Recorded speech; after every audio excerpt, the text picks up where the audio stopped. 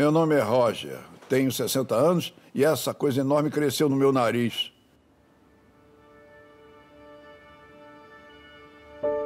Tem esses buracos pequenos nele e é de onde sai todo o pus.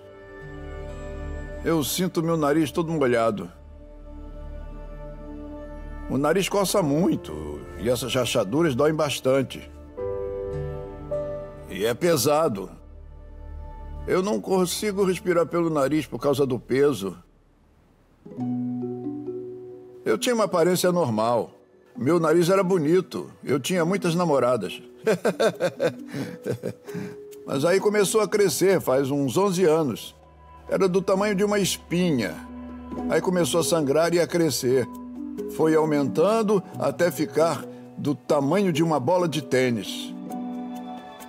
E olha agora. Eu fui a uns hospitais, mas eles não quiseram me ajudar.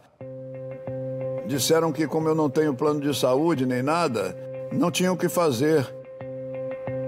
Eu sinto que ninguém se importa. E eu também estou com medo, porque está crescendo e, para ser sincero, eu não quero que cresça. Aqui foi onde meu nariz começou a vazar ontem à noite. Acontece quase toda noite. Nessa parte aqui. Ontem à noite, estava saindo pus no meu nariz e eu estava dormindo. E eu senti ele molhado. Toda noite eu limpo meu nariz. Porque aqui começa a vazar. E aqui também. E aqui também. Ah, e aqui também. Eu limpo e depois vou dormir.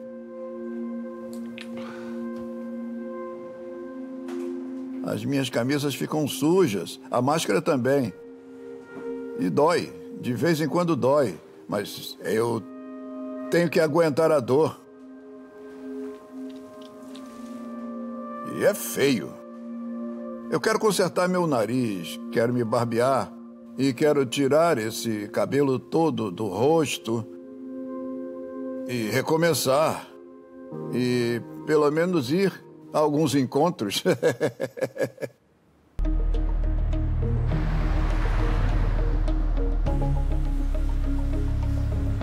Dá uma olhada nesse relatório para mim.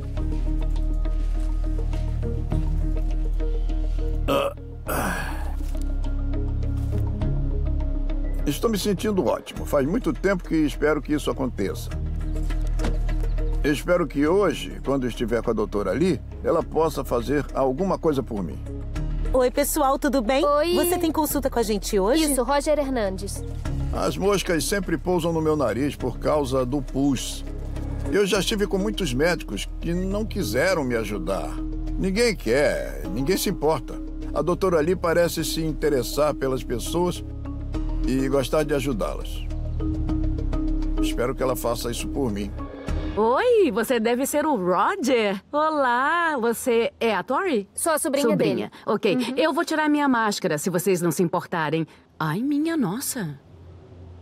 Ok.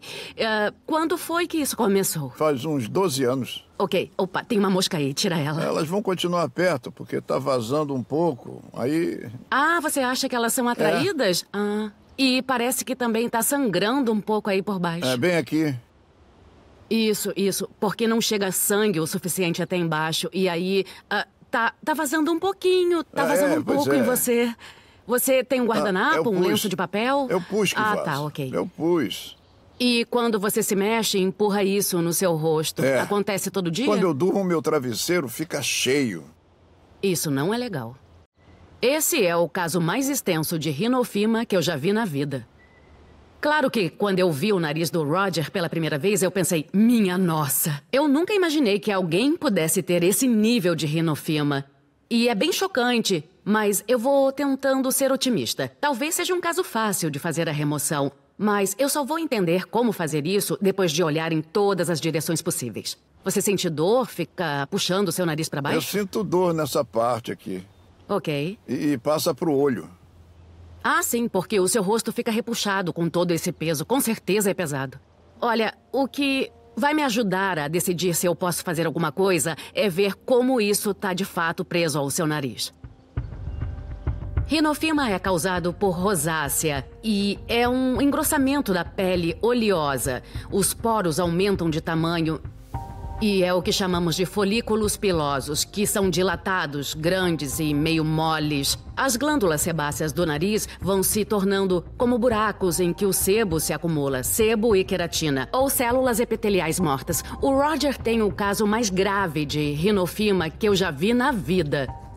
A situação dele é crítica de verdade. E eu tô tentando não deixar isso me intimidar porque eu sei que ele acha que eu sou a última esperança dele. E talvez eu seja, talvez eu seja a única que já tentou analisar a situação e dar uma solução para ele. Ok, aqui é o dorso do seu nariz, nessa parte de cima. Aqui tem uma veia bem grande, né? Com licença, deixa eu ver onde estão suas narinas, porque a minha maior preocupação é se as suas narinas estão obstruídas e se a cartilagem ainda está evidente nelas. Tipo, ah, a narina está aqui. Olha, a narina está esticada para esse lado. Esse caso fica cada vez mais complicado quanto mais eu examino. As narinas dele estão esticadas, uma narina típica tem o tamanho da borracha da ponta de um lápis. Mas no caso do Roger, as narinas estão do tamanho da abertura de um copo de dose. A narina dele tem cartilagem e precisamos desse apoio, senão toda vez que você inspira. Acontece isso, você precisa ter esse auxílio. Acontece que essas aberturas têm um bom fluxo de sangue. Os vasos sanguíneos aumentaram de tamanho para chegar nessa área. Esses serão difíceis de controlar em termos de sangramento. Algumas coisas me deixam um pouco preocupada. Eu nunca vi um caso em que as narinas da pessoa ficam deformadas por causa do peso. Eu quero ter certeza de que consigo tratá-lo. E não faremos isso em apenas um tratamento. Porque são muitos níveis e eu preciso, é, Pensar um pouco sobre o que fazer. Com certeza eu vou pedir ajuda de colegas como otorrinos, cirurgiões dermatologistas. E vamos ver qual é a melhor opção nesse caso, ok? Eu espero poder ajudá-lo, de verdade. Eu também espero. Eu sei. Esse é um caso muito complicado e eu gostaria de falar com outros colegas que são especialistas em cirurgia nasal para saber qual seria o melhor tratamento, porque, em primeiro lugar, tem que ser seguro. Em segundo lugar, eu quero poder ajudar de verdade o Roger. E, em terceiro, eu não quero que nada de ruim aconteça com ele.